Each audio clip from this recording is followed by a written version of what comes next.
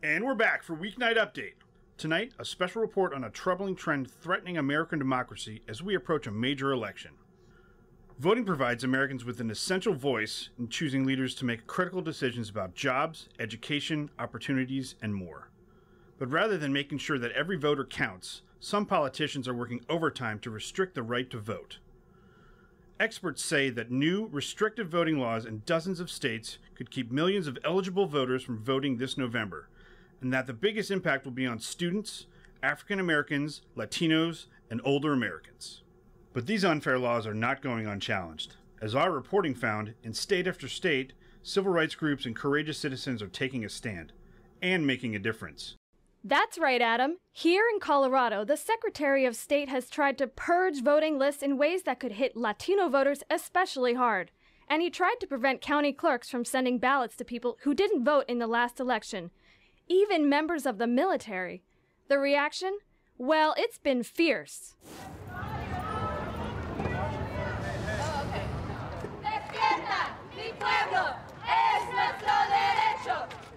We're here because the Secretary of State is making a decision about whether or not people that didn't vote in 2010 should become inactive voters. It would disproportionately be Latino and African Americans that are taken off of the rolls.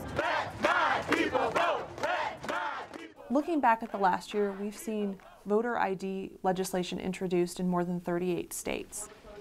Voter suppression comes in many forms. It can be as subtle as rulemakings through the Secretary of State's office or legislation at the state capitol to make it harder for people to vote by putting voter registration restrictions in place, or as obvious as robocalls telling voters that the day of the election has changed. In Pueblo in 2008, there was a series of robocalls that went out the night before the election telling voters that their polling places had changed. The county clerk found out about it and did his best to get the word out that that information was incorrect my mom was one of those people that received one of those robocalls. Um, she called me immediately and asked me, had we changed our precinct? And I just couldn't believe that this could be happening. How could somebody call you and try to take your vote away from you? And as soon as I heard that, it, I mean, my heart dropped because I thought, how many people are getting these phone calls today? I think they targeted mostly senior people. They said there was something happened and they had to move the election uh, to Wednesday instead of Tuesday. I think the Secretary of State's job is to get more people to vote and not less people to vote. And there shouldn't be no restrictions. So we put you on notice, Secretary of State, yes, that we will not allow you to take away our vote. It has become a battleground where when we were seeing, you know, one or two or three bills proposed that would have changed the election law in Colorado. Now we're seeing 50. It's becoming a growing trick in the kind of partisan tool bag when you're trying to win an election. People need to really own the, the right to participate in this election and not let these voter suppression efforts push us out of the process.